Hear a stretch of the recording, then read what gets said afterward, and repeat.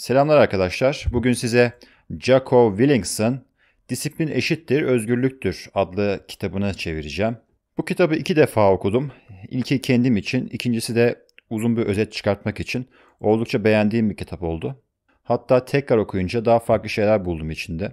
Aslında çok uzun bir kitap değil ama çok da fazla kısaltmadan ne de uzun tutaraktan ben bu kitabı çevirdim. Şimdi size bunu seslendireceğim. Öncelikle Jocko Willings kimdir? Bundan bahsedeyim. Kendisi emekli bir Navy SEAL askeri yani Navy SEAL bizdeki Bordo Bereliler gibi özel bir birlik, özel bir e, askeri birlik. Yanılmıyorsam bizde nasıl Bordo Bereliler varsa ya da komandolar varsa da onların da en üst düzey askeri birlikleri bu Navy SEAL'lar. Bu adam oradan emekli bir asker ve orada biliyorsunuz e, çok disiplinli olması gerekiyor bu askerlerin. Emekli olduktan sonra bu disiplini günlük hayatına da yansıtıyor ve biz de e, tecrübelerini burada paylaşmış bu kitapta. Daha önce bildiğiniz gibi YouTube kanalımda gene bir Navy SEAL olan David Goggins'in Can't Hurt Me, Beni İncitemezsin kitabını çevirmiştim. O da aynı şekilde Navy SEAL'ın bir üyesiydi. Öncelikle kitabın başlığı ilk duyduğunuzda size bir anlam ifade etmeyebilir. Yani disiplin neden eşittir özgürlük olsun ki? Disiplin ve özgürlük. Ancak bana göre çok isabetli bir kitap adı olmuş ve olayı sadece bir cümleyle özetlemiş aslına bakarsanız. Kitapta uzun uzun disiplinin nasıl olur da sizi özgür bırakacağından bahsedeceğiz. Yani Jaco bahsedecek, ben de çevireceğim. Kitabın adıyla alakalı benim kendi yorumum şu. Disiplinsiz bir insan kendi bağımlılıklarına, tembelliklerine, hedefleri için girdiği yolda yapması gerekenlerden kendisini alıkoyan duygularına asla söz geçiremiyordur. Bu anlamda kalkıp kafasına koyduklarını yapabilme konusunda asla özgür değildir. Disipline girdiğinizde ise ne bağımlılıklar ne tembellikler gibi duygular sizi yolunuzdan alıkoyamaz. Böylelikle istediklerinizi gerçekleştirmek için özgür hale gelirsiniz. Seçimlerinize göre bir hayat yaşayabilirsiniz.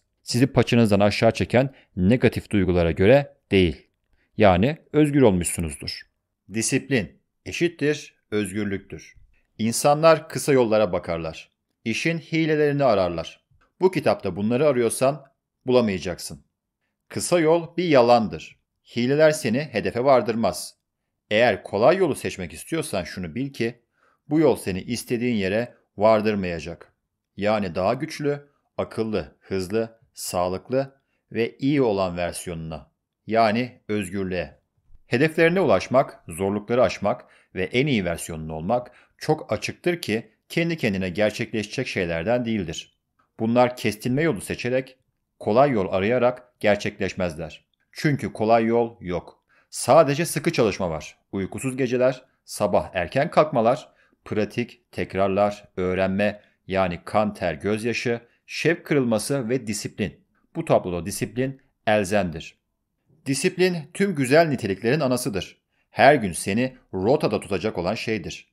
Tembelliğin, bahanelerin üstesinden gelmek için temel prensiptir. Disiplin bugün değil, şimdi değil, dinlenmeliyim, yarın yaparım diyen sınırsız bahanelerini yenmeyi sağlar. Yani başarılı olmanın, güçlü olmanın, akıllı ve sağlıklı olmanın yolu nedir diyorsan sana tek bir yol söylüyorum. Disiplin. Tekrar ve tekrar kendime sordum. Neden diye. Beni hayatta ne güdülüyordu? Yani ne motive ediyordu? Gençken bir askerdim ve savaşa hazırlanıyordum. Başka bir yerlerde başka bir adamın da benimle aynı amaçla hazırlandığını biliyordum. Bu adam bir düşmandı. Çalışıyor, antrenman yapıyor, benimle savaş alanında buluşmak için hazırlanıyordu. Bunun nerede ve ne zaman olacağını bilmiyordum. Ancak bildiğim tek şey onunla eninde sonunda buluşacağımızdı. O zaman geldiğinde ben de zihinsel, duygusal ve bedensel olarak hazır olmak istedim. Ve o gün gelene kadar hazır olmak için her şeyi yaptım. Askeriyede yükselip bir lider haline geldiğimde de aynı yaklaşımı kullandım. Adamlarımı aynı şekilde hazırladım. Onlara amansızca antrenman yaptırdım. Ve o gün savaş günü geldi. Düşmanla savaş alanında karşılaştık. Zaten hazırdık ve savaşı kazandık. Sonra bir gün her şey bitti. Savaş bitti. Artık asker değildim. Artık bir lider de değildim. Artık ne kendimi ne de adamlarımı savaş için hazırlayacaktım. Peki beni şimdi ne güdüleyecekti, ne motive edecekti? Cevap basit. O savaş gününden sonra evlerine asla dönemeyecek olan adamlarım. Ama sadece onlar değil.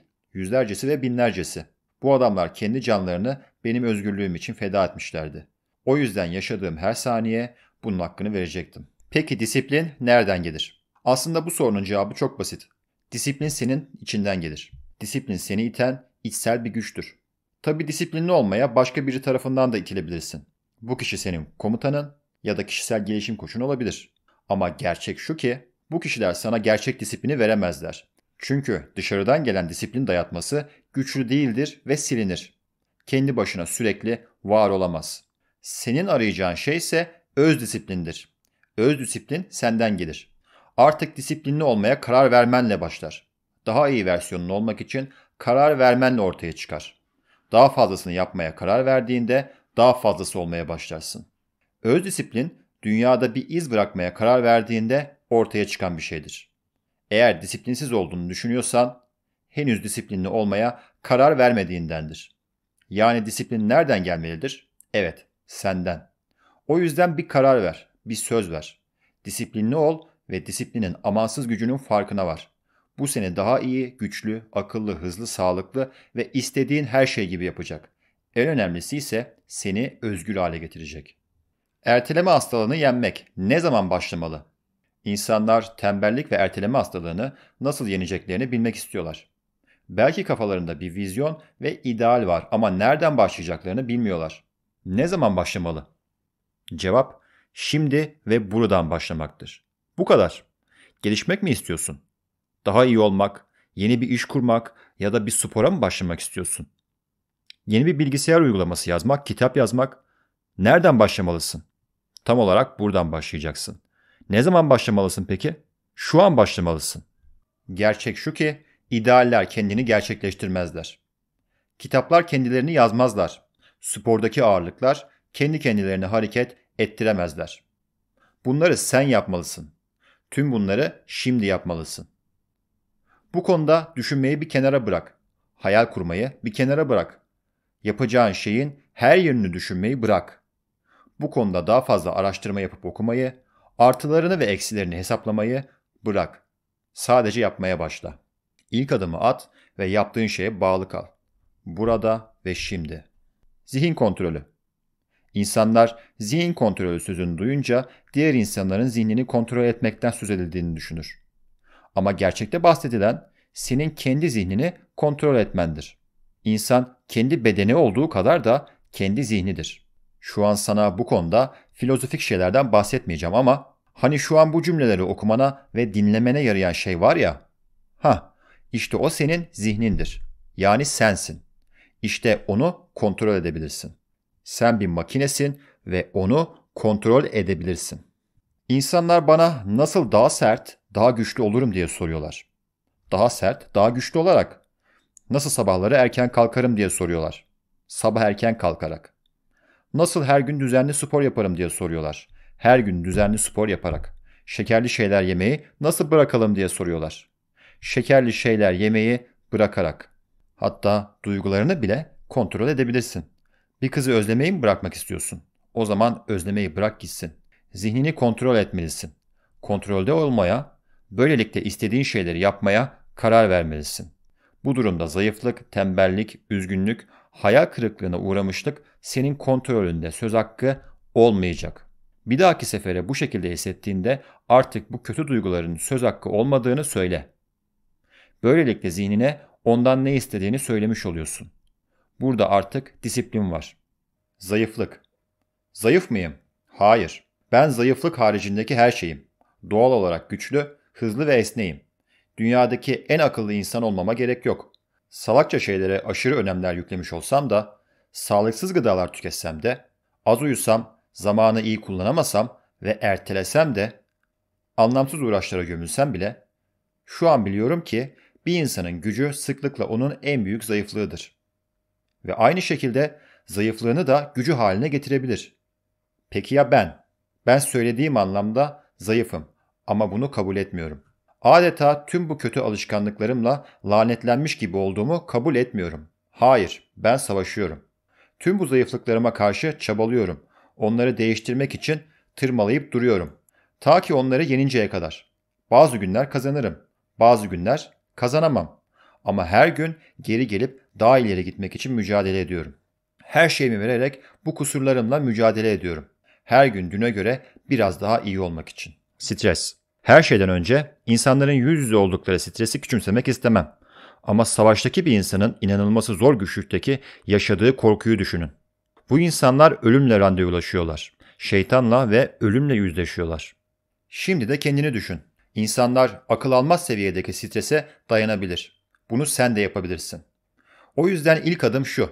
Bir perspektif kazan. Kritik pek çok durumda yapman gereken şey bağlantıyı kesmektir. Nasıl bir problem ya da stres yaşıyorsan kendini ondan ayır. Strese genellikle kontrol edemeyeceğin şeyler neden olur. Mesela topçu ateşi konusundaki en kötü şey onu kontrol edemeyecek olmandır. Topçu ateşi sadece olur ve bunu kabul etmek zorundasındır. Kontrol edemediğin şeyler hakkında stres yapmayı bırak. Diğer taraftan eğer stres kontrol edebileceğin bir şeyden geliyorsa ve sen bunu kontrol etmiyorsan bu disiplin eksikliği demektir. Onu kontrol et ve problemi çöz. Stresi rahatlat. Eğer stres kontrol edemediğin bir şeyden geliyorsa bu sefer onu kucakla. Ona farklı bir açıdan bakabilir misin diye düşün. Onu avantajına kullanabilir misin diye. Savaştaki kaosu kontrol edemiyorsam ki edemem, onu kabul etmek zorundayım.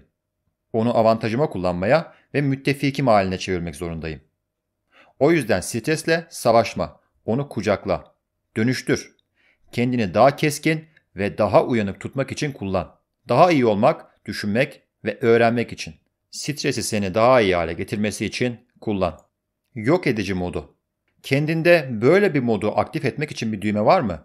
Çılgına dönmüş gibi asla durdurulamayacağım bir mod. Bence bu öğrenebileceğim bir şey ve herkesin öğrenemeyeceği zor bir ders.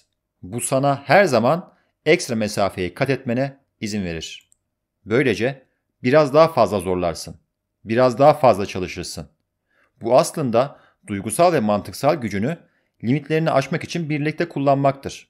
Duygusal ya da mantıksal gücünden birinde başarısız olduğunda diğerini ön plana atmalısın. Mesela öfkeni, hayal kırıklığını, korkunu seni daha ileri itmesi için kullanabilirsin. Mantığın sana dur dediğinde bu duygusal şeyleri kullanarak çalışmaya devam edebilirsin. Bu yaptığın aslında mantıklı bir yanı olmayan duygusal bir tepkiden ibarettir. Yani hırslanıp çalışmak, kızıp çalışmak, hayal kırıklığını dönüştürerek, ondan güç sağlayarak çalışmak mantıklı bir yanı olmayan şeylerdir ama senin devam etmeni sağlar. Şimdi de tam tersi bir senaryoyu düşün. Duyguların artık sana durmanı ve dinlenmeni söylüyor. Tükenmişsin ve duygusal olarak kendini çok güçsüz hissediyorsun. Bu durumda mantığını kullanmalısın. Mantığını çalıştırarak devam etmeyi sağlamalısın. Yani anlayacağın güçsüz duygularla mantığınla, güçsüz mantıkla da duygularınla savaşmalısın. Bu ikisinin dengesinde durmayacağım demeyi başarırsın. Sonuna dek git. Savaşlarda ve sonrasında çalıştırdığım insanlarda gördüğüm şey, öncelikli görev tamamlandığında bir rahatlama eğilimi göstermeleridir. Onları bu konuda eğittim. Çünkü tüm görev tamamlanıncaya kadar rahatlayamazsınız. Bunun bir kas hafızası gibi olması gerek. Onlara şunu aşıladım. Düşman uyumuyor. Silahını indirdiğin ve gözlerini kapadığın anı bekliyor. Bu yüzden işi tamamlayıncaya ve tamamen bitirene kadar rahatlama. Ta ki düşman tamamıyla yok olana kadar. Odağını kendine çevir, dinlenme. Ta ki daha iyi, hızlı, akıllı ve güçlü olana kadar. Disiplinin uygulanması. Disiplin sabah erken kalkmakla başlar. Gerçekten de öyle. Ama bu sadece başlangıcı. Uyandıktan sonra yapman gerekenleri uygulamaya başlamalısın. Bunlardan biri antrenmandır. Biri doğru yiyeceklerle vücudunu beslemendir. Duygularını disipline etmektir. Ki böylece doğru kararları verebilesin. İstemediğin ama yaptığında sana faydalı olacağını bildiğin görevleri yapmaya başlamaktır. Disiplin korkularınla yüzleşmektir ki onlara karşı galip gelebilesin. Disiplin zorlu ve yokuş olanı, yokuş olan yolu seçebilmektir. Senin için doğru olan yolu seç. Çoğunlukla kolay yol bizi çağırır. Zayıf bir anımızda bizi anlık tatmin verici bir şeyle çağırır. Disiplin senin bu yola girmeni engeller. Zayıflığını kabul etmez. Bu anlarda disiplin senin en kötü düşmanın gibi görünebilir. Ancak aslında senin en iyi arkadaşındır. Seni gücün, sağlığın, zeka ve mutluluğun olduğu patikaya sokar. Ve en önemlisi seni özgür olduğun patikaya sokar. Sorular Bilgi güçlü bir araçtır ve bilgiyi sorular sorarak kazanırsın. Peki hangi soruları sormalısın? Aslında hiçbir şeyi doğru olarak kabul etme ve her şeyi sorgula. Ve en önemlisi kendini sorgula. Hem de her gün. Kendine şunu sor. Ben kimim? Bugün ne öğrendim? Bugün ne yarattım? Nasıl bir ilerleme kaydettim? Kimlere yardım ettim? Kendimi geliştirmek için neler yaptım? Daha iyi, hızlı, güçlü, sağlıklı ve akıllı olmak için neler yaptım? Bu olmak istediğim kişi mi? Elimden gelenin hepsi mi? Hayatım bu şekilde mi olacak? Bunu kabul ediyor muyum? Kendine bu zor soruları sor ve sonra da dürüstçe cevapla.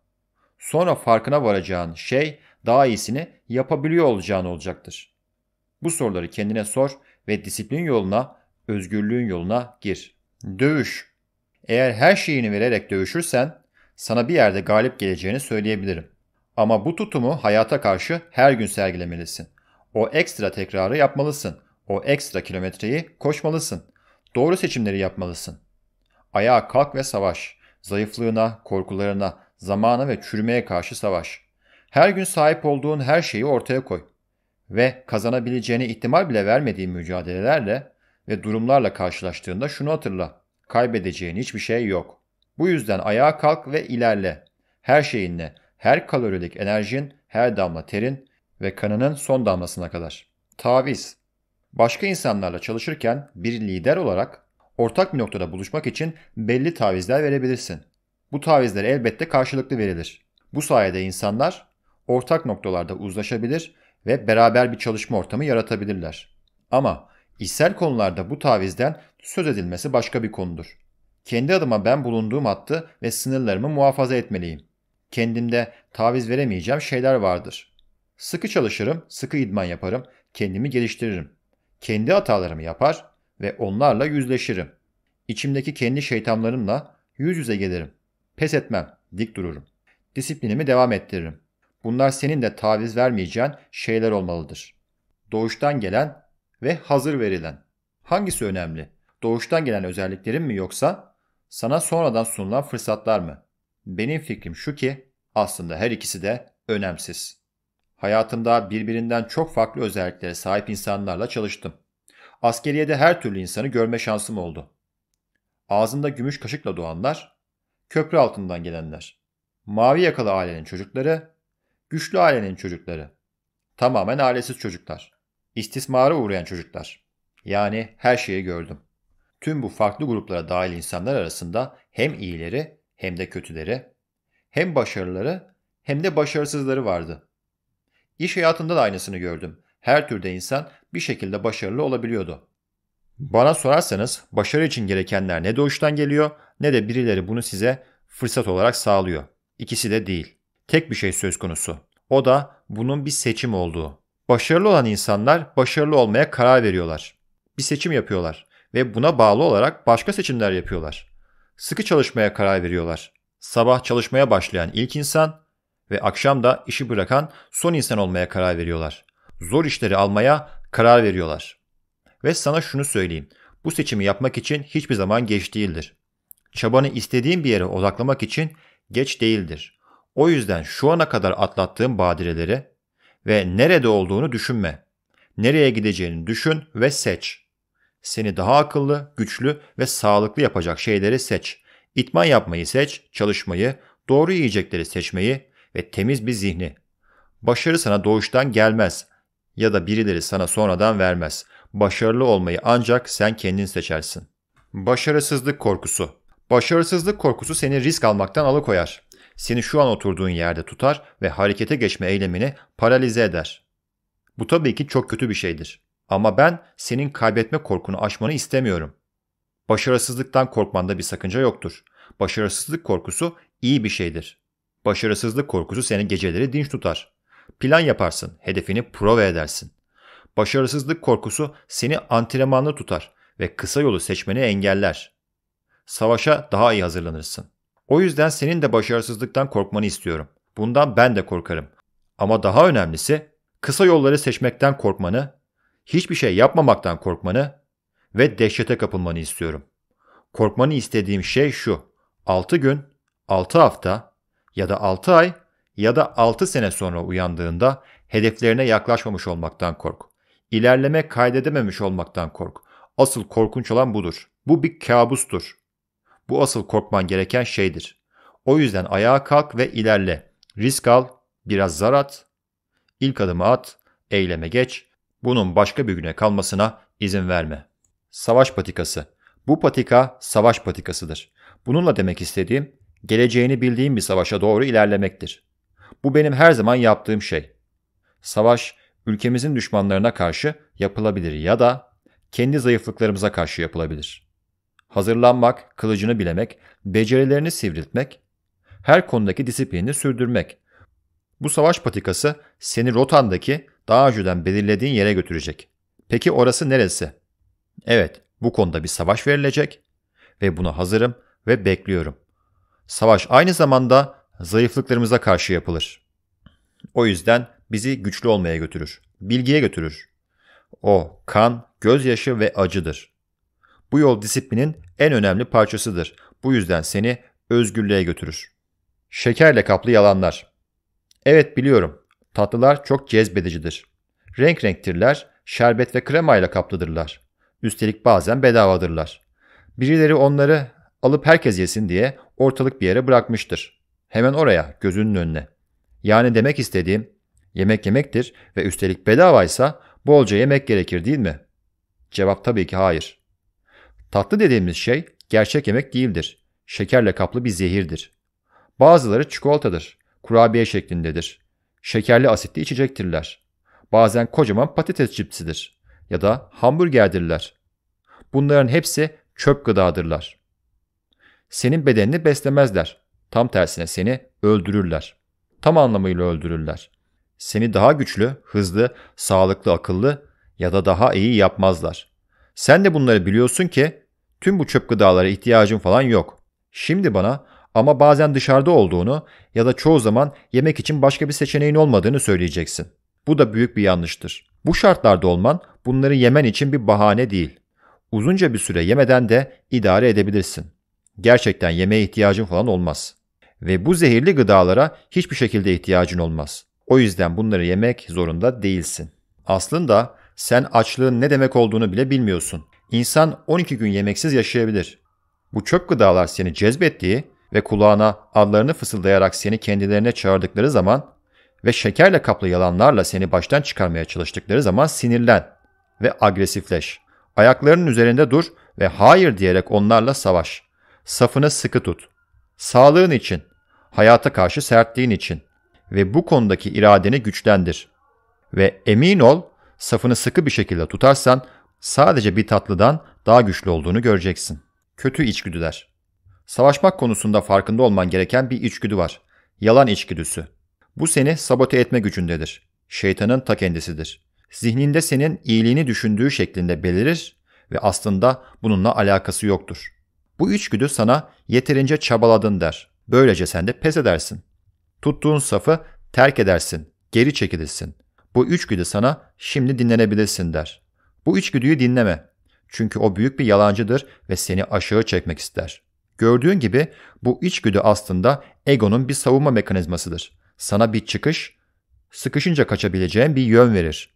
Her şeyin affedildiği rahat bir alan sağlar. Burada tüm başarısızlıkların ve başarısızlıklarından doğan üzüntülerin yalanlarla hafifletilip pışpışlanır.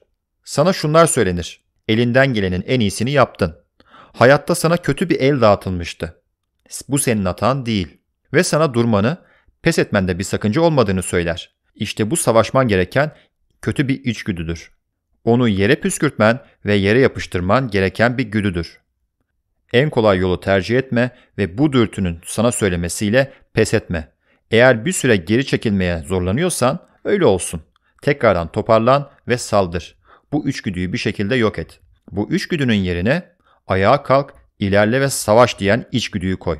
Zorluklara karşı bu temel tepkiyi geliştir. Böylece gittiğin yolda ne tür zorluklar olursa olsun onları aşarsın. Modunda olmamak. Modumda olmadığım günlerin üstesinden nasıl geliyorum? Bugünlerde yorgunumdur ve tükenmişimdir.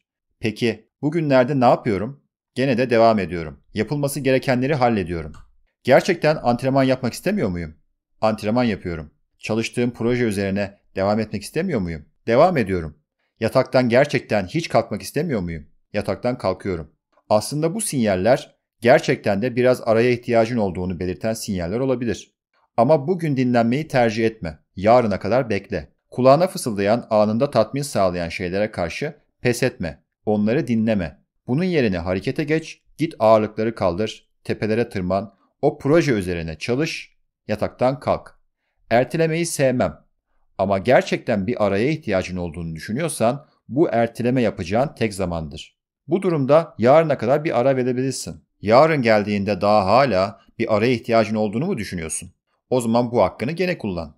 Burada bir parantez açayım ve bir şey ekleyeceğim. Burada Jaco'nun dediği şey eğer gerçekten bir araya ihtiyacın olduğunu düşünüyorsan bunu bugün kullanma. En azından yarına kadar ertele diyor. Bunun 2-3 tane çok güzel faydası var. Birazdan Jaco da söyleyecek e, zaten.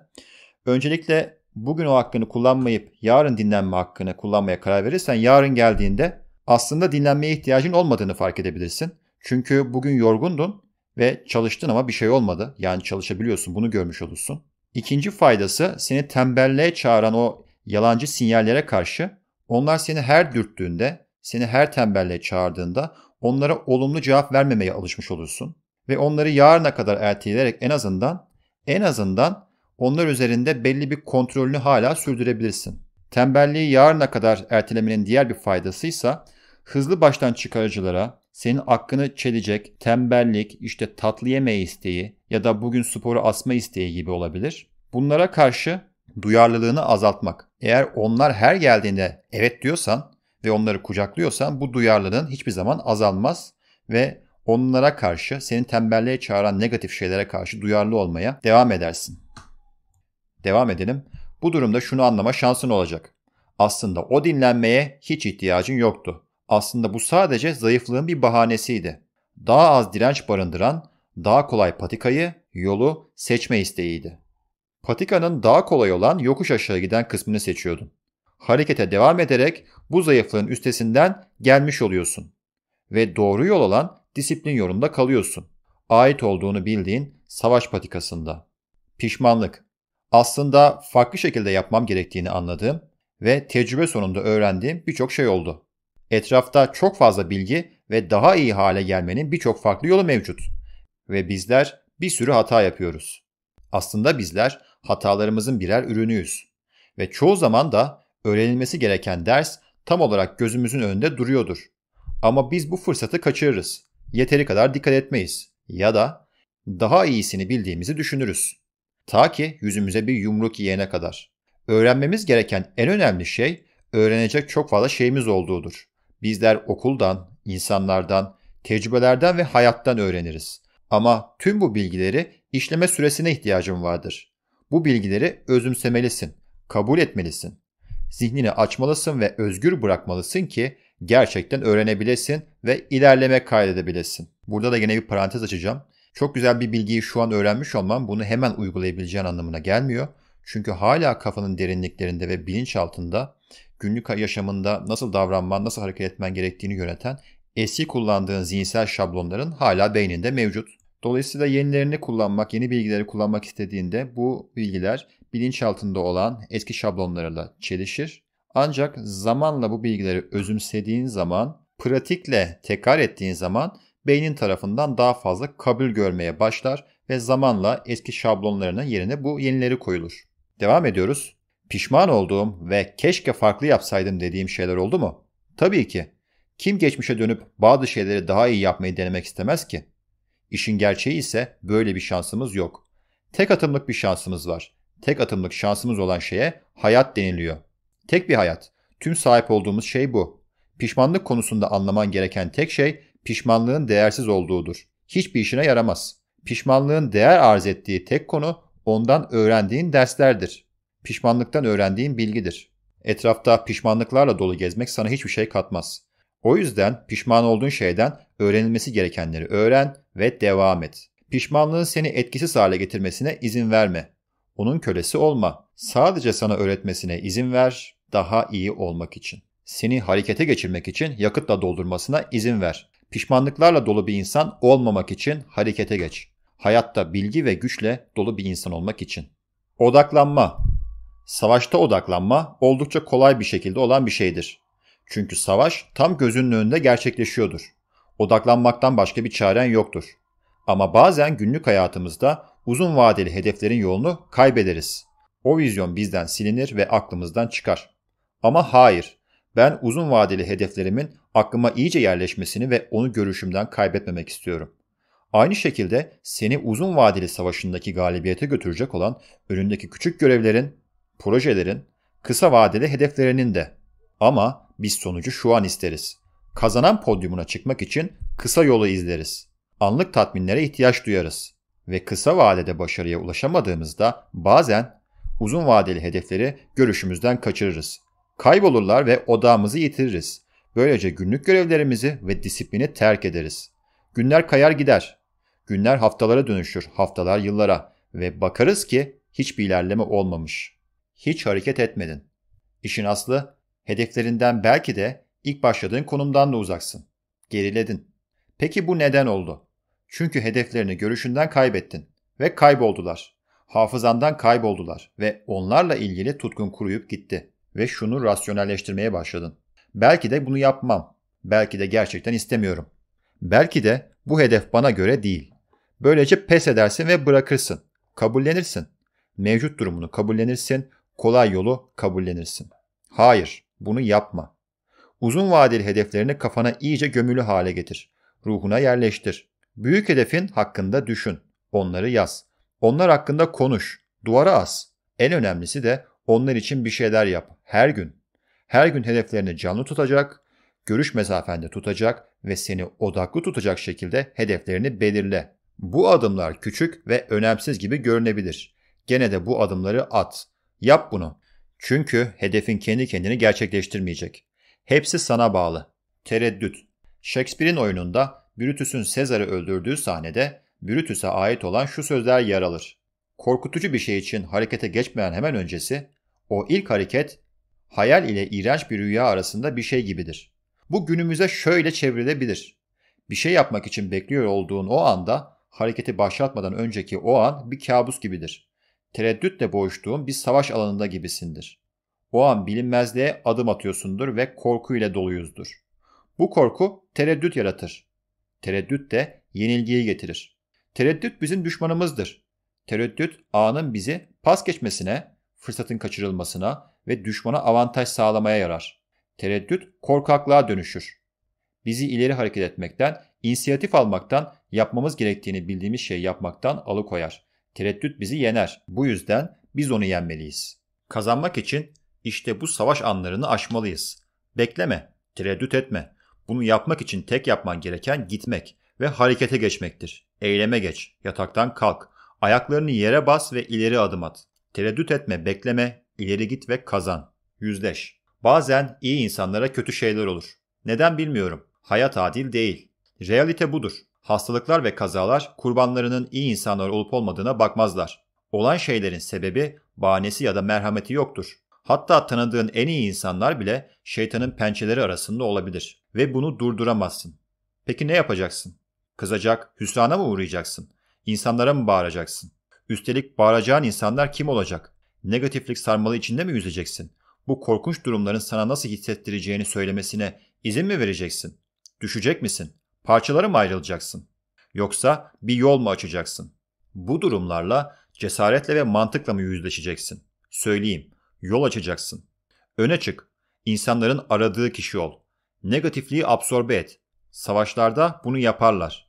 Belli askeri belli düşmanın yerini belli etmek için, belli taburun geri kalanına avantaj sağlamak için öne çıkartırlar. Diğerleri bununla baş edemezken ben ederim. Kötü şeyler olurken dik durabilirim. Etrafımdakileri cesaretlendirebilirim. Bu pozitif tutum yayılır ve savaşırız. Savaş kaybedilirse de bu mücadeleci ruhumuz asla teslim olmaz. Bu da en büyük kazançtır zaten. Kaçınılmaz bir yenilgiyle yüzleşecek olursak bile başımız dik durur. Ayakta kalıp savaşırız. İyi. Gerilemelerle, başarısızlıklarla, gecikmelerle, yenilgilerle ve diğer felaketlerle nasıl savaşırız? Aslında benim bu durumlarla uğraşmak için son derece basit bir yöntemim var. Yöntemimi tek kelimeyle özetlersem o da şu olur.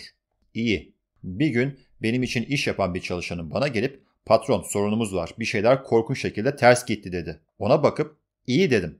Sonunda bir gün bana gene gelip işlerin rayından çıktığını söyleyip açıklamasını bitirdiğinde bana baktı ve şöyle söyledi. Ne diyeceğini zaten biliyorum. Ona bakıp ne diyeceğim ki diye sordum. İyi diyeceksin diye cevap verdi. Ona işler kötü gittiğinde bu kötü şeylerin geldiği yerde iyi şeylerin de var olduğunu açıkladım. Görev iptal mi oldu? İyi, başka bir tanesine odaklanalım. İstediğimiz son teknoloji ürünü alamadık mı? İyi. İşleri basit tutarız demektir. Terfi alamadım mı? İyi. Bir sonraki sefere daha iyi olurum. Firmaya fon kaynağı bulamadık mı? İyi, firmanın hepsi bize kalmış oldu. İstediğim işi alamadım mı? İyi, dışarı çık, daha fazla tecrübe kazan ve daha iyi bir özgeçmiş yarat. Sakatlandın mı? İyi, antrenman yapmaya biraz ara vermen gerek. Pes mi ettin? Antrenmanda pes etmek, gerçek mücadelede pes etmekten iyidir. Yenildin mi? İyi. Bu sayede öğrendin. Beklenmedik problemler? İyi. Bunun çözümünü öğrenme fırsatı yakaladık. Bu kadar. Kötü şeyler olunca hayal kırıklığına uğrama. Onlara bak ve iyi de. Onlardan öğren. Ben burada basma kalıp bir şey söylemeye çalışmıyorum. Bay pozitif olmaya çalışmıyorum. Bay pozitif acı gerçeği görmeyi reddeder. Pozitif tavrın problemi çözeceğini düşünür. Ama çözmez. Aynı şekilde problemin üzerinde kalmak da problemi çözmez. Bunun yerine gerçeği kabul et ve çözüm üzerine odaklan. Sorunu al, gerilemeyi al, problemi al ve iyi bir şeye dönüştür. Sonuç olarak eğer iyi diyebiliyorsan tahmin et sonrasında ne olur? Bu hala yaşıyor olduğun anlamına gelir. Hala nefes alıyorsun. Ve eğer nefes alıyorsan içinde hala savaşacak bir şeylerin kaldığını gösterir. Ayağa kalk, üzerindeki tozları silkele, hedefe dön ve saldır. Ölüm. İyi denilen şey, kayıpların en büyüğü olan ölüme karşı nasıl uygulanabilir? Ölümde iyi bir şey olmadığını düşünmek kolaydır. Hayatta kaybettiğim kişilerden sonra onlarla olan anılarım, güzel zamanlarımızı, onların eşsiz karakterlerini ve bana kattıkları şeyleri hatırlarım. Onların hayatta olduğu zamanların ve aynı zamanda ölümlerinin bana pek çok şey öğrettiğini fark ederim. Bende bıraktığı izleri ve bu açıdan ölümlerinden bile iyi bir şeyler bulmaya çalışırım. Öncelikle bu insanlarla kısa bir süre de olsa hayatı paylaştığım için çok şanslıyımdır. O eşsiz zamanlar ve hatıralar ve onların güzel kişiliklerini tanımışımdır. Bana bu fırsatı vermişlerdir. Ve ölümlerine gelince evet ölüm zalim bir şey ama aynı zamanda adildir de. En sevdiğimiz insanlar neden ilk alınanlar oluyor bilmiyorum ama ölüm kaçınılmazdır. Ondan kaçabilen kimse olmayacak ve yaşamın bir parçası. Karanlık ile ışık arasındaki zıtlık gibi. Ölüm olmadan yaşam olmazdı. Kaybettiğim insanlar bana bunu hatırlattı. Hayatın ne kadar değerli olduğunu. Her gün için şükretmek gerektiğini öğrendim. Öğrenmek, büyümek, gülmek ve yaşamak için. Her güne bir amaç ve tutkuyla başlamak için. Sabahları minnettar bir şekilde kalkıp dünyanın verdiği fırsatlara minnettar olmak için. Bu fırsatları elinden alınan insanlar var. Ölümün acı elleri içinde. Onlar bu fırsatı bulamadılar. Onların anısına saygı göstereceğim ve bu yüzden yaşayacağım. Daha fazla ağlamak ya da yaz tutmak yok. Evet hatırlamak var ama bunda takılı kalmak yok. Her gün bu yarı zamanlı bir iş değildir. Mesai bitirip eve gidiyorum diyemezsin. Hafta sonları ara veremezsin. Hayır. Burada hafta sonları diye bir şey yok. Bu her zamanını kapsayan bir iş. Her gün pazartesi. Bu dediğimi sevmemiş olabilirsin. Ben mi? Ben seviyorum. Bana göre her gün bir başlangıç. Her yeni gün, her yeni hafta hayatta yeni bir deneme şansı. Fırsat kapıya bir adamın güne saldırması gibi gelir. Bugün ben hazırım, saldırganım. Baskı kuruyorum ve atağa geçiyorum. Tabii ki yorulacağım. Dayak yemiş gibi olacağım. Yere serildiğim bazı kötü günlerim olacak. Ama durmayacağım. Daha fazla bahane, daha fazla yarın başlayacağım. Daha fazla sadece bu seferlik yok. Artık irademin eksik oluşunu, kolay yolu seçmeyi, sağlıksız şeyler ve verimsiz düşünceler içinde boğuşmak yok. Hayır bunlardan daha fazla yok. Artık mükemmel anı beklemek, daha fazla kararsızlık, daha fazla yalan ve zayıflık yok. Artık güçlü olma zamanı. Güç ve sarsılmaz irade zamanı. İstediğim şey olacağım ve istediğim kişi olacağım. Ve ancak sadece o zaman dinlenmek için duracağım. Motive kalmak. Motivasyon için endişelenme. Motivasyon uçucudur. Gelir ve gider. Motivasyon güvenilmezdir ve hedeflerine ulaşmak için motivasyona güveniyorsan muhtemelen ona erişemeyeceksin. Bu yüzden ortaya çıkıp işleri halletmek için her gün motive olmayı bekleme. Çünkü böyle bir şey olmayacak. Motivasyon denilen şeye güvenme, disipline güven. Yapman gerekeni zaten biliyorsun. Öyleyse o işleri yapmaya koyul. Disiplin içinde yap. Burada herkes yapılacak işleri ortadan kaldırmak için bir çeşit sihirli hap ve kısa yol ister. Ama böyle bir şey mümkün değildir. Çalışmalısın. Safını sıkı tutmalısın. İşleri halletmelisin. O yüzden disiplinli ol ve başar. Hepsi bu. Kendime karşı kendim. Dünyada benim asla sahip olamayacağım becerilere, güce ve yeteneğe sahip insanlar var. Hayatta yeterince istediğin takdirde istediğin her şeye sahip olabilirsin ifadesi doğru değildir. Peri hikayesidir. Hepimizin bazı limitleri vardır. Olimpik bir güç ağırlık kaldırma sporcusu olmak için doğru genlere sahip değilim. Olimpik bir koşucu olmak için de öyle. Ya da jimnastik için. Tabii ki tüm hayatım boyunca antrenman yaparsam tüm bu sporlarda önemli bir yere gelebilirim.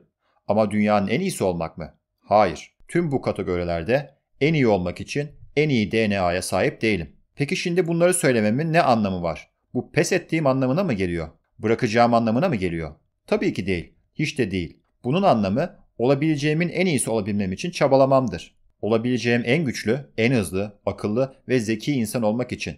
Ve diğerlerinden bu konuda daha iyi olup olamayacağım önemli değildir. Sadece onlara bakarım ve kendi alanlarında, kendi kategorilerinde neyin başarılabileceğini ve neyin mümkün olduğunu görürüm. Bu mükemmelliğe yakın olmayı nasıl başarabileceğimi sorarım. Bu başarılar kalabalıklar önünde gerçekleşmez. Başarılar olimpiyatlardaki büyük stadyumlarda ve podyumlarda kazanılmaz. Altın madalyanın kazanıldığı yer buralar değildir. Bu büyük başarılar erken sabahların karanlığında kazanılır. Yalnızlıkta. Burada gene bir parantez açayım. Size bir kitap tavsiye edeceğim. Yıllar önce bir sahafa gitmiştim ve bu kitap benim elime gelmişti. Muhammed Ali'nin bir kitap yazdığını ya da bir kitabı olduğunu bile bilmiyordum. Kitabın ismi En Büyük Benim ve Muhammed Ali'nin biyografisini anlatıyor. Kitapta Muhammed Ali'nin nasıl boksa başladığından, boks serüveninde yaşadığı türlü zorluklara, sonrasında Muhammed Ali'nin büyük rakipleriyle yaptığı maçları neredeyse 3 boyutlu olarak kafanızda canlandırabileceğiniz kadar akıcı ve güzel bir anlatıma sahip olarak size anlatıyor. Bu kitap benim çok keyif aldığım kitaplardan bir tanesi ve aklımda yer etti. Yıllar önce okumama rağmen bu kitabı unutmadım. Şu an yeni baskısı da var. Almanızı tavsiye ederim. Bu parantezi şu yüzden açtım. Çünkü Muhammed Ali burada e, buradaki Joko Willings'in söylediği söze benzer bir şey söylüyor.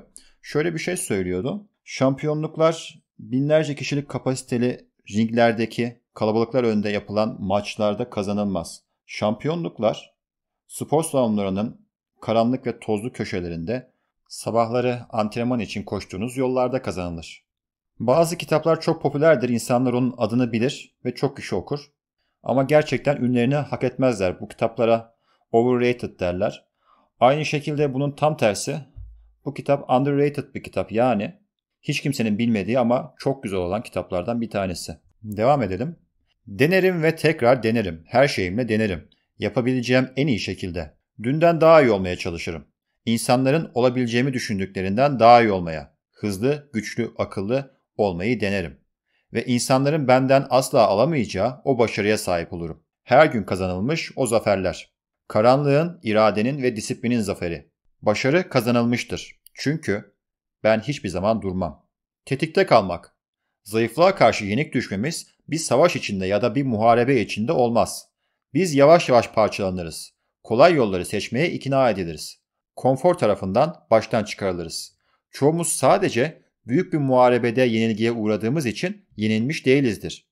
Zamanla küçük, görünüşte önemsiz teslim oluşlarla yenilgiye uğratılmış ve olmamız gereken kişiden uzaklaştırılmışızdır. Yani sen bir gün uyanıp da tamam ben güçsüz biri olacağım diye karar vermedin. Bu yavaş yavaş olan bir süreçti. Bu süreç bizim irademizi ve disiplinimizi ortadan kaldırdı. Sadece birazcık daha fazla uyuduk. Sadece bir antrenmanı kaçırdık. Sonra bir dahakine. Yemememiz gereken şeyleri yedik. İçmememiz gereken şeyleri içtik. Sadece bir kez daha. Ve farkında olmadan bir gün kalktın ve normalde hiçbir zaman olmasına izin vermeyeceğin biri oluverdin. Güçlü yerine zayıf. Disiplinli olmak yerine dağınık, organize olamamış ve kaybolmuş.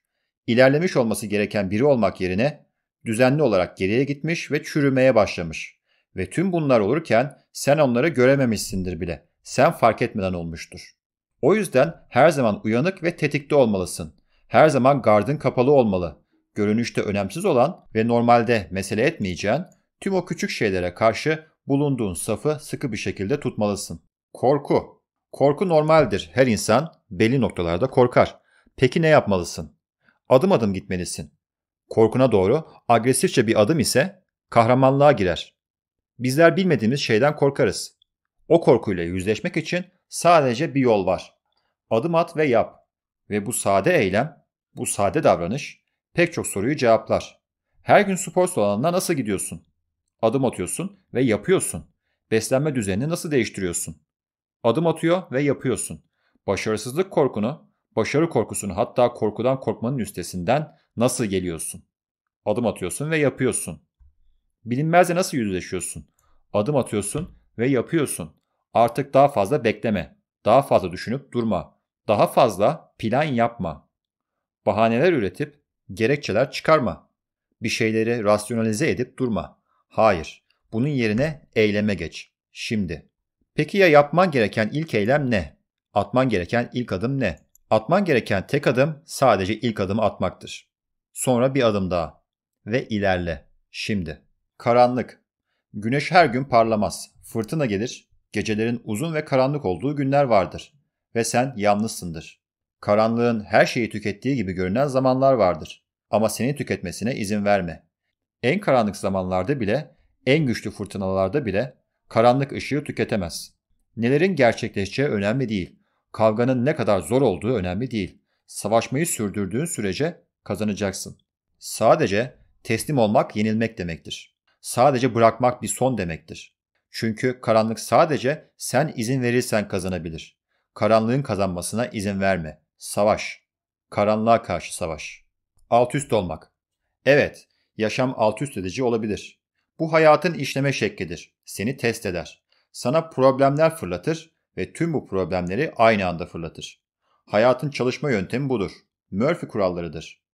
Tüm bu problemlerle karşılaşınca yenilmiş gibi hissetmen çok kolaydır. Ama sana söyleyeyim. Bu savaşmaktan pes ettiğin anlamına gelmez. Aslında tam zıttı geçerlidir. Senin için daha güçlü bir şekilde savaşma vaktidir. Savaş patikasına gir. Problemlerini ölçüp biç ve ilk olarak hangisine saldıracağına karar ver ve sonra da başla. Saldır. Ve şunu duymanı istiyorum. Kolay olmayacak. Gerçek şu ki çok zor olacak. Hayat zordur ve buna hayat denir. Yüzleştiğin bu zorluklar seni alaşağı etmek için elinden geleni yapacaklar. Buna izin verme. Ayağa kalk, problemlerini bir hizaya sok ve onlarla yüzleşerek savaşa başla. Seni aşağı çekmelerine izin verme. Tersine bu meydan okumaların seni yükseltmesine izin ver. Bugün yüzleştiğin zorlukların yarın seni daha iyi bir insan haline getirmesine izin ver. Böylece gelecekte dönüp bu zorluklara bakınca onlara şöyle diyeceksin. Teşekkürler. Çünkü benim daha iyi olmama yol açtınız.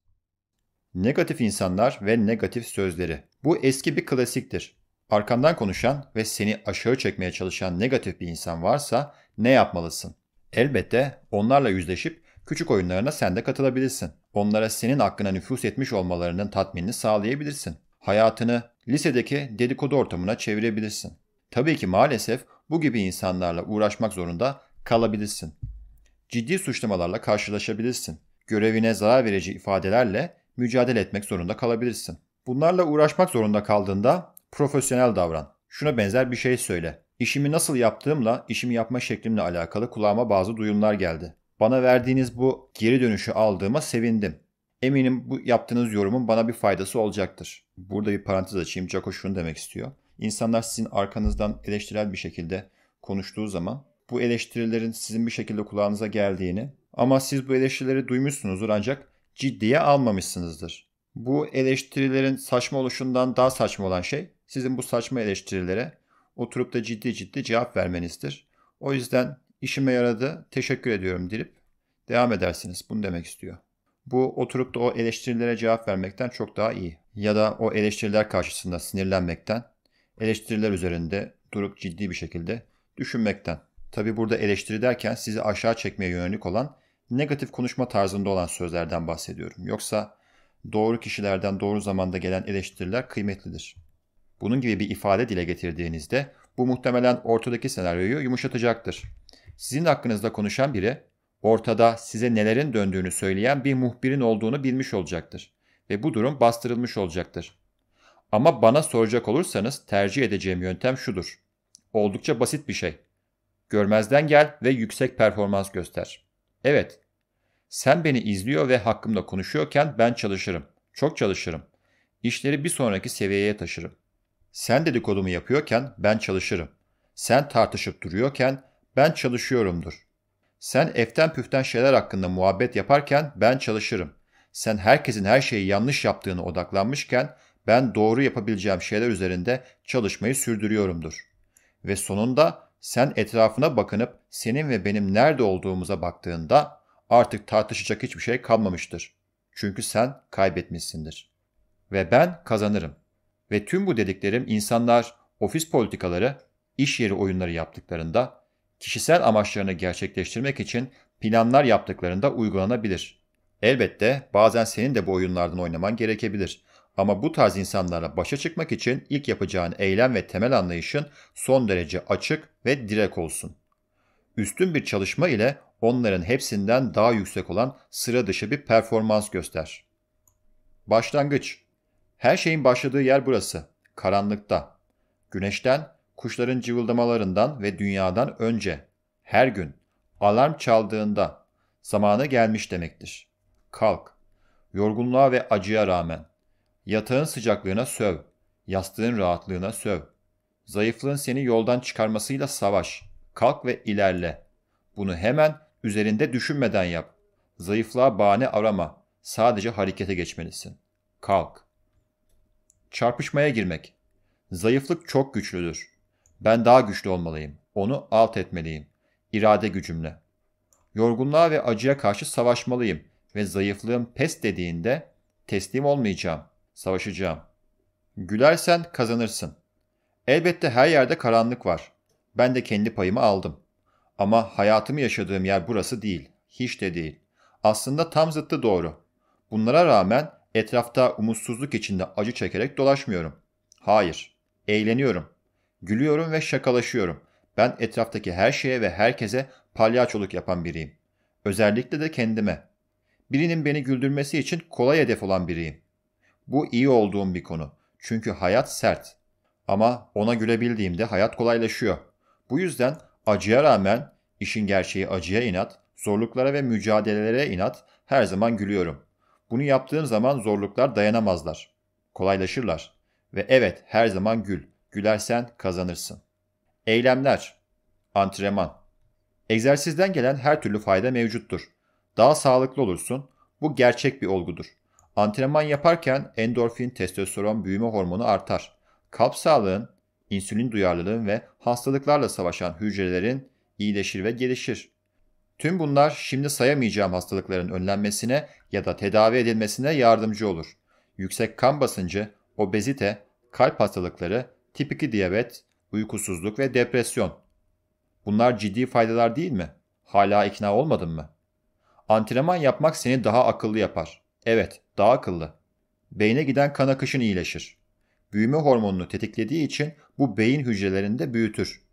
Plastisite denilen nöronların değişim kapasitesini yükseltir. Nöronların bilgi gönderme ve alma becerileri gelişir. Salgılattığı beyin hormonlarıyla sana bilişsel olarak yardım eder. Ama sadece benim anlattığım şeylerle kalma. Git ve yap. Biraz egzersiz yap ve sonra zihinsel durumuna dikkat et. Daha farkında, keskin ve akıllı hissedeceksin. Bu gerçek bir olgudur. Stres hem iyidir hem de kötü. Stres hem iyidir hem de kötü. Gelişmek için strese ihtiyaç duyarız. Daha iyi olmak için bedenimizi ve aklımızı zorlamalıyız. Strese karşı vücudun ana tepkilerinden biri kortizol hormonunu salgılamaktır. Böylece vücut depolanmış olan enerji kaynaklarını kullanabilir hale gelir. O an acil bir tehdit varsa daha az önemli olan şeyleri bırakıp vücudumuzu bu tehdit için hazır hale getirilmesini sağlar. Kan basıncımızı yükselterek tehditlere karşı hazır hale getiriliriz. Ama stres kötüdür de. Eğer çok fazla stres altındaysak kortizol vücuda çok fazla salınır. Kortizol seviyesi sürekli yüksek kalırsa bağışıklık sistemi salgılanır. Artan kan basıncı hipertansiyona neden olur ve kalbe, damarlara zarar verir. Yağ depolanmasını kolaylaştırır. Antrenman da kortizolun salgılanmasına neden olan bir çeşit stres yaratır. Ancak vücudun kortizola tepki vermesi konusunda onu alıştırır ve kortizolü dengede tutar. Tabi aşırı egzersizde kortizol fazla salgılanır ve yorgunluk, performans düşüklüğü başlar. O yüzden vücuda ve akla çok fazla stres yüklememelisin. Ancak tekrar söylüyorum ki gelişmek için vücuduna ve zihnine belli ölçüde stres vermelisin. Ne zaman? Antrenman yapmamak için en büyük bahane zamanın olmamasıdır. Her zaman bir işler çıkar. Ancak kimsenin senden alamayacağı zaman şafak vakitleridir. Askeriyede erken kalkmak ve düşman saldırısı için hazır olmak gerekir. Bu, savaşlarda uygulanan standart bir prosedürdür. Örneğin 1. Dünya Savaşı'nda her bir adam sabahın ilk ışığında mevzide tüfekleri dolu, atağa hazır bir şekilde hazır olmalıydı. O yüzden güneşten önce kalk ve saldırmaya hazır ol. Evet, bu erken kalkacağın anlamına geliyor. İlk başta bu zor olacak. Ama sonra zamanla normalleşecek. Bir kere buna alıştığında erken kalkmanın gününü daha iyi hale getireceğini garanti ederim. O yüzden erken kalk. Psikolojik eşik. Sabah yapılan antrenmanın bir sürü psikolojik avantajı vardır. Öncelikle düşmanlarından daha çok çalıştığını bilmek bir avantajdır. Bu sana savaşta onları yenebileceğin özgüveni verir. Diğer bir avantajsa hem erken kalkmanın hem de sıkı antrenman yapmanın disipline dayanmasıdır. Bazı bilim adamları disiplinin kullanıldıkça gün içinde sınırlı bir kaynak olan iradeyi azalttığını ileri sürer. Bu yanlıştır. Böyle bir şey olmaz. Tersine inanıyorum ki çalışmalar da bunu gösteriyor. Bu disiplin ve irade harekete geçirildikçe güçleniyor. Kendi üzerinde bir deney yap. Yatmadan önce antrenman planını hazırla. Antrenman kıyafetlerini de hazır hale getir. Böylece sabah kalkınca ne yapacağını düşünmezsin. Alarm çalınca kalk, giyin, antrenmanını yap. Duşuna gir ve gün boyunca yapacağın işlerin peşinde koşturmaya başlayabilirsin. Bunu yaptıktan sonra kahvaltı zamanı geldiğinde ne olacağını izle. Çöp gıdaları yemek bile istemeyeceksin. Canın sağlıklı kahvaltılıkları çekecek. Aynısı öğle yemeğinde de olacak. İyi ve enerjik hissedeceksin. Değersiz kaloriler içeren pizzaları ve patates kızartmalarını istemeyeceksin. Yediğin besinlerin sana yakıt olmasını isteyeceksin. Besinden aldığın iyi yakıt bedenini tekrardan inşa etmeni sağlayacaktır. Zihnini keskin tutacaktır.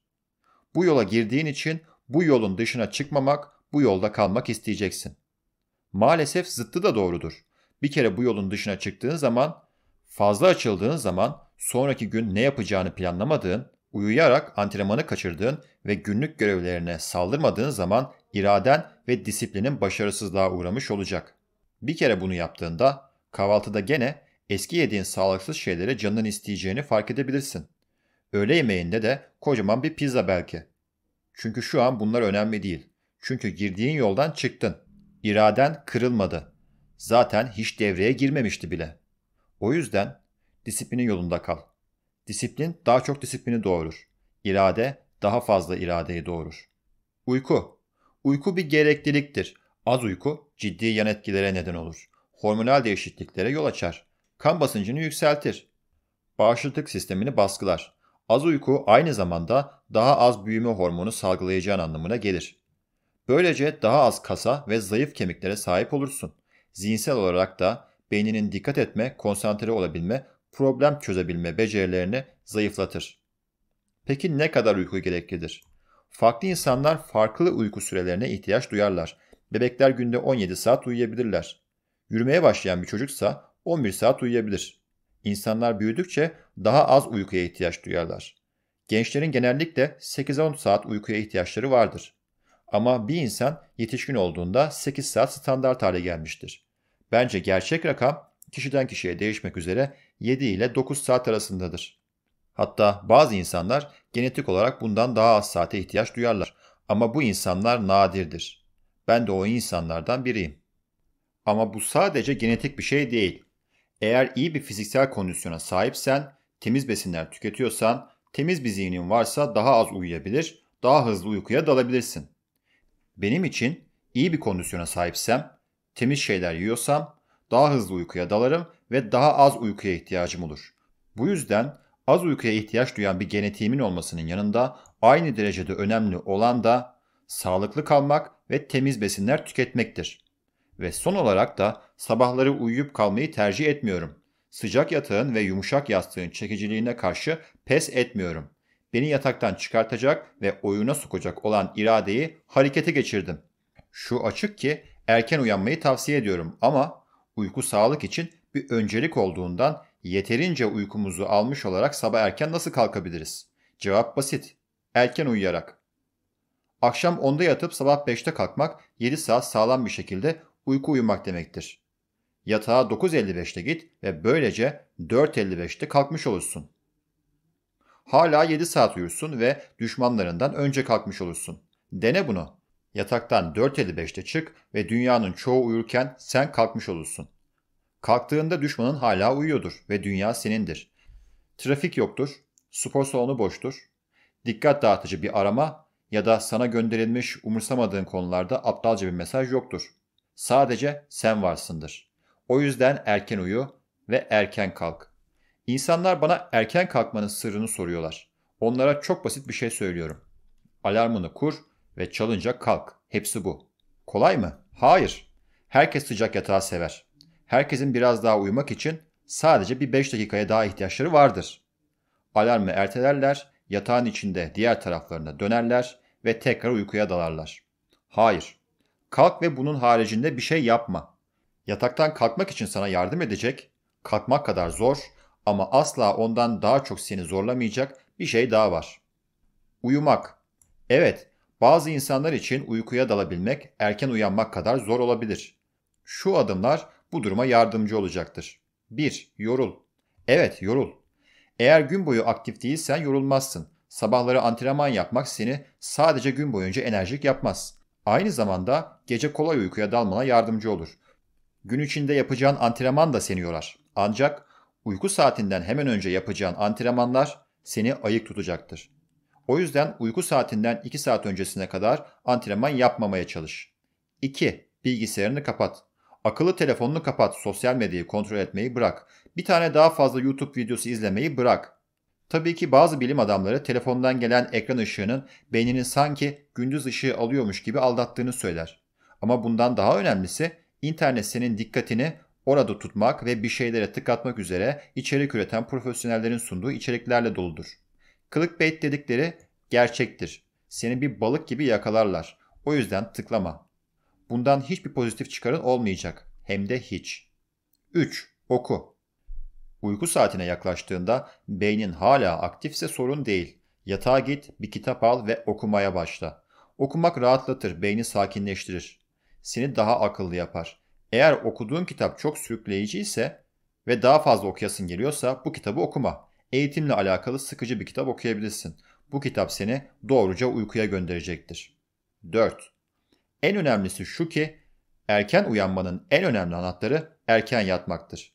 Bu sana bugün bu gece yardım etmeyebilir ama yarın gece edecektir. Eğer 7 saat uykuya ihtiyaç duyuyorsan 4.30'da kalkman gerek demektir. Bu da yatağa 9.30'da gitmen gerek anlamına gelir. Ama bugün kendini 9.30'da uyumak için zorlamak çok zor olabilir. O yüzden 11.30'a kadar bekle. Ama gene de 4.30'da kalk. Evet sadece 5 saat uyuyabileceksin. Ve evet kuvvetle muhtemelen gün içinde yorgun hissedeceksin ki bu aslında iyi bir şey. Çünkü günün sonunda gerçekten yorgun olacaksın. Şimdi yatağa 9.30'da gidebilirsin. İşte şimdi yola girdin ve ilerliyorsun demektir. 5. Bunları her gün yap. İnsanlar bana bu durumda hala hafta sonları da erken kalkmaları gerekip gerekmediğini soruyorlar. Bunun cevabı evettir. Bunun birkaç nedeni var. Hafta sonları sadece 2 gündür. Erken kalkmanı ve onu avantajına kullanmanı istiyorum. Erken kalkarım, antrenmanımı yaparım ve yapılması gereken görevlerimi tamamlarım. Bu kafamda yapılması gereken şeyler takılı kalmıyorken rahat ve keyifli bir zaman sağlar. Hafta sonları erken kalkmamın diğer bir nedeni de uyku düzenimi korumaktır. Eğer cumartesileri geç bir saatte kalkarsam gece uyku saatim de sarkacaktır. Böylelikle pazartesi uykumu alamadan kalkarım. O yüzden her gün erken kalkmalısın. Eğer fazladan uykuya ihtiyaç duyuyorsan gün içinde kısa uyuma molaları ver. Antrenman. Herkes şunu öğrenmek istiyor. Bir antrenman neleri içermeli? Öncelikle şunu söyleyeyim. En önemli olan şey bir şey yapıyor olmandır. Yani herhangi bir şey olur. Yürü, koş, yüz, ağırlık kaldır, tepelere tırman, esneme egzersizleri yap, basketbol oyna ya da dövüş sporu yap. Bazı insanlar ne yapacaklarını bilmediklerini söylerler ama genellikle bu sadece bir bahanedir. Egzersiz karmaşık, çok yönlü, bilimsel olarak ispatlanmış yöntemler içermek zorunda değildir. Herhangi bir şey yeterlidir. Bir kere bir şey yapmaya başladığında o alanda kalmak iyi bir fikirdir. Gelişimini kayıt altına al. Bu hedeflerine doğru ilerlemene yardım edecek. Antrenmandaki tecrüben arttıkça antrenman yapman kolaylaşacak. Kendini ne kadar zorlaman gerektiğini bileceksin ve ne zaman daha yavaş gitmen gerektiğini. Sıklıkla insanlar önceden planladıkları antrenman gününü atlıyorlar. Sonra da bu iki güne çıkıyor. Sonra da üç güne. Ve sonrasında bir hafta antrenmansız geçmiş oluyor. O yüzden bu rutinini muhafaza et. Disiplinini muhafaza et. Denge. Vücut dış dünyada değişen koşullara göre kendini dengeler. Buna hemeostaz denir.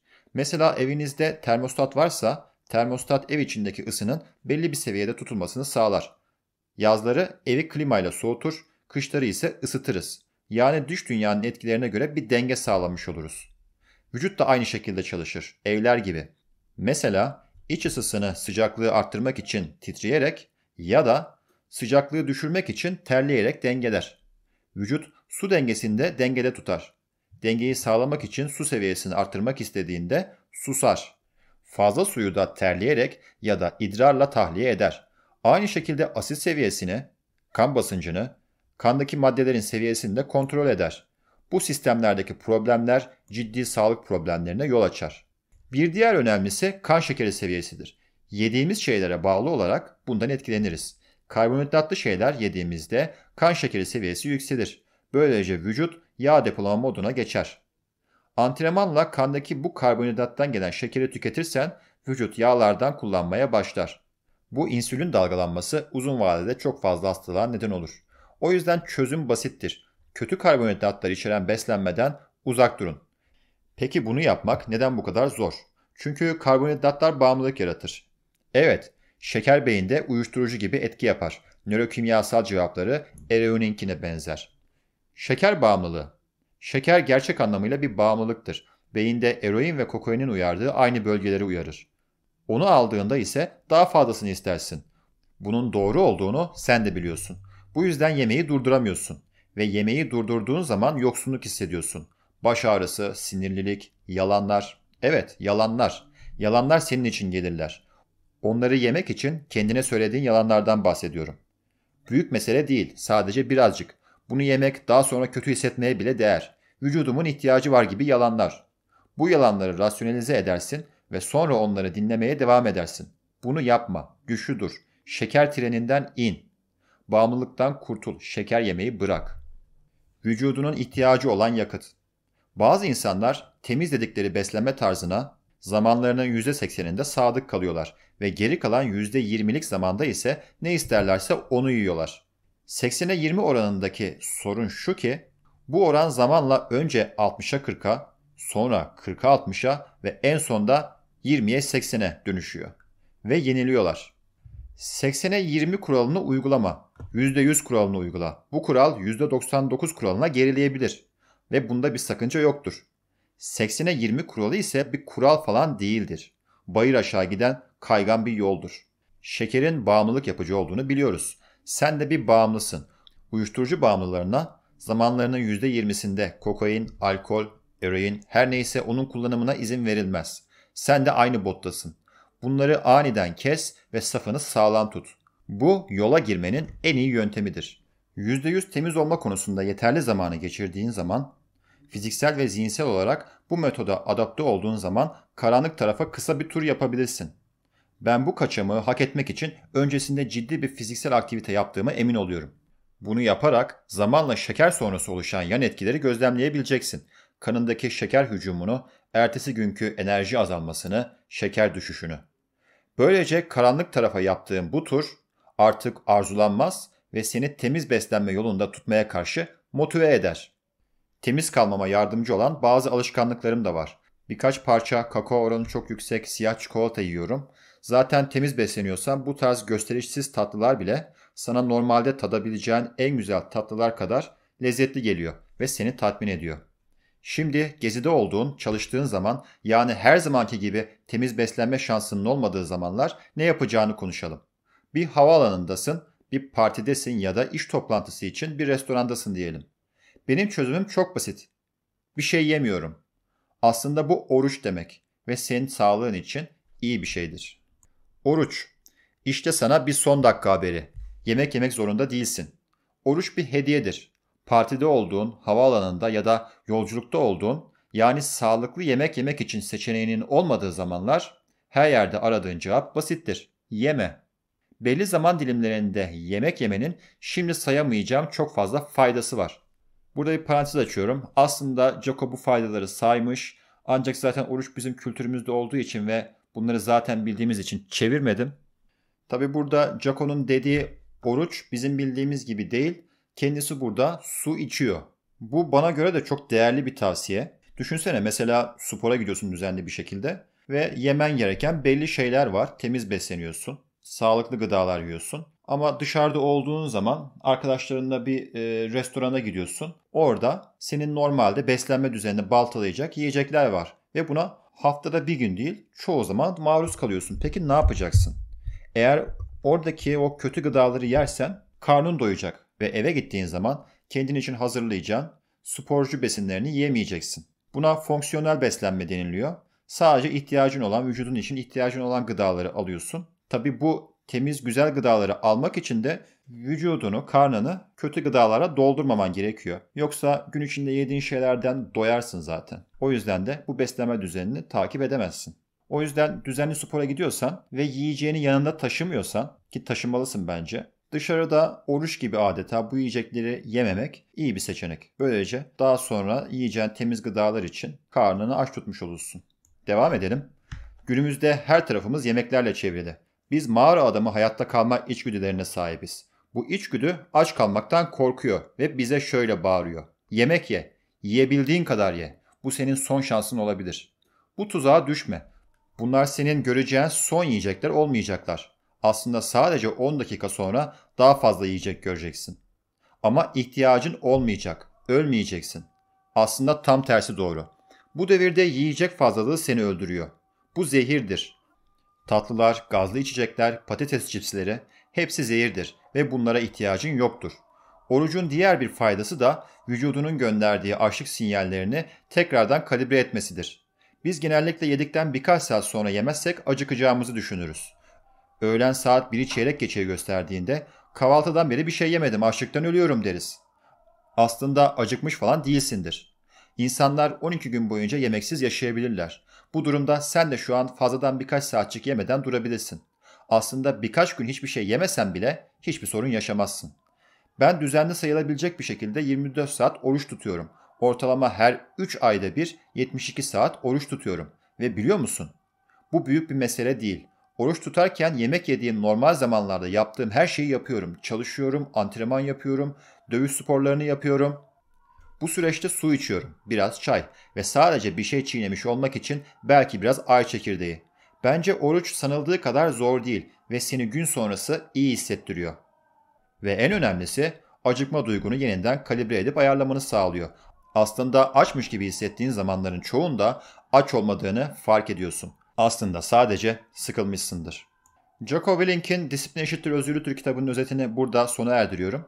Kitabın bundan sonraki kalan üçte birlik bölümünde Jocko antrenman programı veriyor ve herkesin bir dövüş sporu yapmasını tavsiye ediyor ve bu dövüş sporlarından bahsediyor. Eğer siz de bu tavsiyeleri ve antrenman programını merak ediyorsanız kitabı alıp okuyabilirsiniz zaten. Ben buraları çevirmedim ve son olarak podcast'i bitirmeden bir ekleme daha yapayım.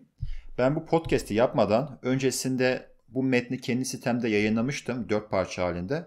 Oraya bir yorum gelmiş. Bir arkadaş bazı e, eleştirilerde bulunmuş bu Joko Willink'in kitabıyla alakalı. Ona bir cevap vermiş olayım. Öncelikle eline sağlık Secret diyor. Üstün körü okudum. Klişe gaz vermiş gibi diyor. Üstün körü okuduysam bunun klişe bir gazdan ibaret olduğunu nereden biliyorsun? Bu kitap basit gibi görünse bile içindeki şeyler aslında kolayca anlaşılabilecek şeyler değil, üzerinde düşünmeye ve belli bir derinliği olan şeyler. Aslında Joko'nun verdiği en basit tavsiye bile kalk, yataktan kalk, adım at ve git, git yap hepsi bu diyor ya. Aslında onun bile büyük bir derinliği var. Bu felsefede söylenen tek bir cümle ama o cümleyle alakalı ciltlerce kitap yazılabilecek derinlikte bir cümle gibi. Eğer bu disiplin konusunda tecrübeniz yoksa ve bu basit klişe gibi görünen sözlerin üzerine düşünmemişsiniz, bunu anlayamayabilirsiniz ilk etapta. Şöyle devam etmiş. Nacizane ben de biraz katkıda bulunacağım. Yazarın hangi ortamda yetiştiğini bilmiyoruz. Bu tarz başarılı insanların ayırt edemediği şeyler var. Örneğin kendisi için sabah erken kalkmak basit bir eylemken benim için katlanılmaz oluyor. Aynı acıyı o da çekse belki o da kalkamayacak.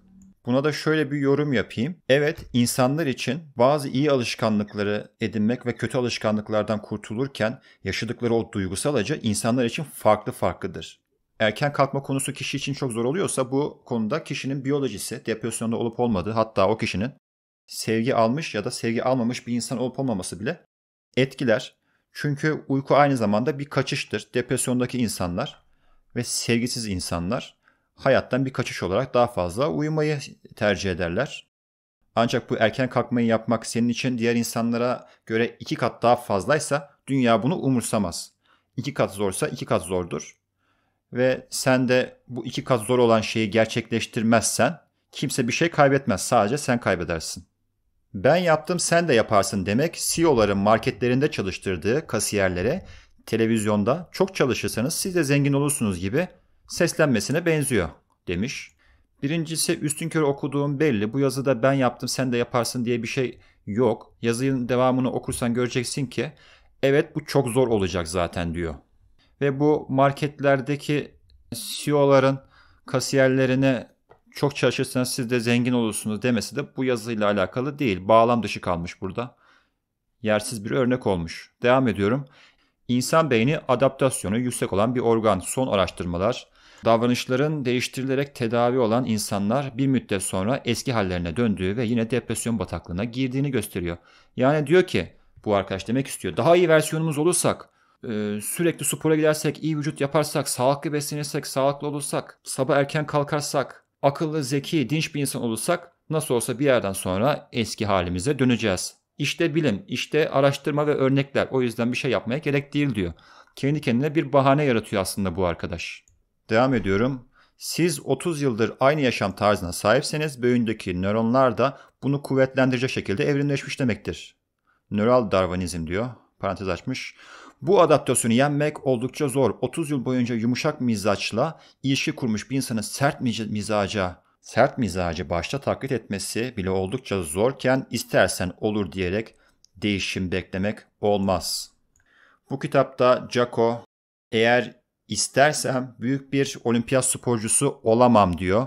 Ancak bu konularda benim arzu ettiğim konularda kendini çok ileri götürmüş insanların performansına bakalım, bakarım, onları izlerim ve o alanda neler yapılabileceğini anlarım ve kendim de kendi şartlarımda en iyi yapabileceğim şeyi yaparım diyor. Yani istersen olur diye bir şey bu kitabın hiçbir yerinde yok. Hangi kişisel gelişim kitabını okudum bilmiyorum ama okudum bilmiyorum ama Joko'nun kitabında böyle bir şeyden bahsetmiyor. İstersen tekrar oku. Bak üstün körü okumanın zararları bunlar oluyor. Devam edelim. Beyin tutarlı olacak şekilde adaptasyonu sağlar. 30 yıl boyunca yumuşak mizaç kullanmış bir insanın bu iletişim tarzı beynin her yerine yayılmıştır. Hatta motor sistemine girmiştir. İstersen yaparsın tam anlamıyla. İstersen bisiklet sürmeyi unutursun. Unutursun demeye denk gelir. Sert mizaçlı bir insanın yumuşak mizaçlıları taklit edememesi ya da askeri kökenli insanların istese de emekliliğinde konformist yaşantıya geçiş yapamaması da güzel örnekler olabilir. Değişim için okuyucuya daha ikna edici yollar sunulmalı diyor. Bak çok hatalı bir bakış açısı. Değişim için başkasından ikna bekliyorsan o değişimi gerçekleştiremezsin. Çünkü değişime senin bütün vücudun ve beynin karşı koyuyor. Senin ön lobunu çalıştırarak sadece bu insanda olan irade ve kendini değiştirme kudretiyle kendini senin değiştirmen gerekiyor. Bunu sana kimse veremez. Jaco da kitapta bunun aynısını söylüyor. Bu disiplin senin komutanından ve kişisel gelişim koçundan gelebilir ama etkili olmaz söner diyor. Yani senin bu kendi içinden gelmesi gerekiyor. Sen erken kalkamıyorsan şunu söylemen gerekiyor. Artık ben erken kalkan ve kalkabilen ve hayatını düzene sokmuş bir insan olmak istiyorum. Bu disiplinli şeyleri yapmadığın için hayat seni belki ileride öyle bir noktaya getirir ki mecburen ikna olmak zorunda kalırsın zaten. O yüzden bu disipline edici yolları şu an seçmek, insan aklımızla bunu seçebiliriz, daha iyidir. Şöyle devam etmiş, duygularını bile kontrol edebilirsin. Bir kızı özlemeyi mi bırakmak istiyorsun? O zaman özlemeyi bırak. Bu cümleyi alıntılamış, hatalı diyor. Beyinde sürekli elektriksel gürültü vardır. Onunla dinlediğin şarkıdaki tek bir nota da tek bir nota bu elektriksel gürültüdeki onunla ilgili anılarının fitilini yakmaya yeterli vesaire vesaire demiş. Tamam bu beynin hatırlama çalışma mekanizması. Ancak beynin farklı bir mekanizması daha vardır. Tekrar etmediğin şeyi bir yerden sonra unutursun. Beyin neydi o İngilizcesi? Use it or lose it. Kullan ya da unut mekanizması vardır. Tamam mı? Arkadaşım bu söylediği şey de gene çok tehlikeli bir şey şu açıdan. Beynimizin içinde bize ait olduğunu düşündüğümüz, özümüzden geldiğini düşündüğümüz birçok düşünce var. Mesela o düşünceler sana ne diyebilir? Sen değersizsin. O kıza layık olamadın. O yüzden o kız başka bir erkeğe gitti. Onu hak etmiyorsun diyebilir. Bunlar bize küçüklüğümüzde yetiştiğimiz ortamda bize öğretilmiş olan bilinçaltımıza yerleşmiş şeylerdir. Ama sen bu düşünceleri kendinden ve özünden sayarsan nasıl güzel ve istediğin gibi bir hayat yaşayacaksın ki? Bu düşünceler seninle 60 yaşına kadar gelir emin ol. Bunlardan kurtulmak eğer bu şekilde beynindeki elektriksel gürültüye kendini bırakacaksan o elektriksel gürültü dediğin o nehre bunlardan ömür boyu kurtulamazsın. Çünkü sen aslında bu elektriksel şeyleri, bu düşünceleri kendin ve özünden geliyor sanıyorsun. Hayır, aslında bunlar sana öğretilmiş küçüklükten beri seninle beraber gelen elektriksel gürültü diyorsun. Parazitlerdir. Bunlardan kurtulman gerekir tamam mı? Bunları insan mantığınla düşüneceksin. O yüce mantığınla ve bu olumsuz düşünceleri kendi kafandan zamanla fark edip ayıklamaya başlayacaksın. Mesela Eckhart Tolle'un kitabı var Şimdinin Gücü diye. Bu konuyu anlatır. Zamanla bu kendinden ve özünden sandığın negatif, olumsuz düşünceleri bırakabilirsin kendini beynini eğiterek. Şu cümleyi alıntılamışsın onu tekrardan söyleyeyim. Duygularını bile kontrol edebilirsin. Bu yanlış değil aslında. Kızı özlemeyi mi bırakmak istiyorsun? Kızı neden özlüyorsun sanıyorsun sen? Çünkü o kız seni arkasında bıraktı ve sen bunu kendine yediremiyorsun. O kızın seni bırakması muhtemelen kendini değersiz hissettiriyor. O kızları, benzer güzelliği kızları elde edebileceğine inanmıyorsun. Onlara layık olduğuna inanmıyorsun ve bu senin egonu yaralıyor ve içine bir acı veriyor. Tabii ki özlemenin farklı nedenleri de olur ancak bunlar çok temel, muhtaç bir şekilde özlemenin nedenleridir. Eğer kendi iç sesinle konuşup o özlemenin altındaki asıl nedeni bulup ki az önce söyledim e, genellikle ortada olan nedenleri özlemeyi de bu anlamda bırakabilirsin. Yani hatalı bir şey değil bu. Devam ediyorum yorumuna. Şeker konusunun biyolojisini vesaire anlatmaya gerek yok. Şeker zehirdir. Yemek istemez, yemek istemezsen yemezsin demek benim kale alabileceğim bir şeyken obez için geçerli değildir. Hiç sigara içmeyen, uyuşturucu kullanmayan bir insanın bu işlerin bağımlısına bunlar zehir, içmek istemezsen içmezsin demesi gibi bir şey. Bu tarz şeylerin değişimi için daha ikna edici yollar gerekiyor. Bence bu arkadaş dünyada evrensel bir adalet beklentisi içinde. Yani o hamburger obez bir insana ve sana ya da bana aynı acımasızlıkta davranmayacak ki. O obez insan o hamburgere karşı daha zayıf ve dolayısıyla nasıl bir mikrop zayıf insana daha fazla acı çektirir, onu daha fazla hasta eder. Aynı şekilde olacaktır. Yani burada kişiler için evrensel bir denklik yok. Dünyada öyle bir adalet de yok zaten. Kimileri obez oluyor, kimileri sıska oluyor ve hamburgere dayanma eşikleri aynı olmuyor. Tıpkı aynı şekilde kimileri toplama kampında doğuyor. Kimisi İsveç'te, İskandinav ülkelerinde doğuyor. Yani burada ikna edilecek bir şey yok. Yani obez insanın da kendi kendini ikna etmesi gerekiyor. Bizim onu ikna etmemiz gibi bir durum yok. Üstelik obez insanın ikna olmak için daha fazla nedeni var bence. Bu arkadaşa yorumu için teşekkür ediyorum. Disiplin konusunda benim son olarak söylemek istediğim bir şey var. Kendinizi disiplin etmek istediğiniz konuda faydaları sıralamak ve o faydalar için kendinizi o disiplin yoluna sokup ve orada ilerlemek çok etkili olmayabiliyor. Asıl yapmanız gereken şey aslında kitapta da söylediği gibi bir karar vermek. O kararı niçin veriyorsun? Mesela ben hafta içi her gün spora gidiyorum uzun bir süredir. Haftanın 5 günü. Ve spora gittiğin zaman kendime şunu söylemiyorum. Evet daha iyi bir vücuda sahip olacağım. Daha iyi bir vücuda sahip olmak için spora gidiyorum. Kendimi her gün böyle motive etmeme gerek yok. Çoğu zaman o spora niye gittiğimi bile bilmiyorum. o yola girmişim ve onu yapıyorum. Çünkü ben spora giden, bu hayatı daha düzenli yaşayan bir insanım. Bu benim. Yani bu benim dönüştüğüm ve olduğum bir şey.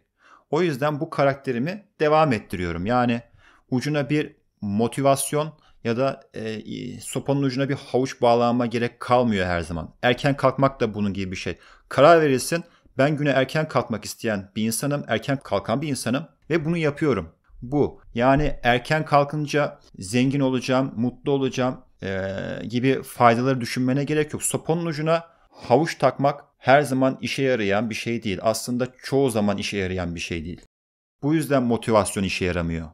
Ve bu zor kararları da ama erken kalkmak benim için herkesten çok daha fazla zor diyerek veremezsin. Bu neden kalkamayacağın konusunda kendini inandırdığın bir bahane olur. Dinlediğiniz için teşekkürler. Umarım bu videodan çok fazla şey öğrenmişsinizdir. Hepinize bol bol disiplinli bir hayat diliyorum. Görüşmek üzere.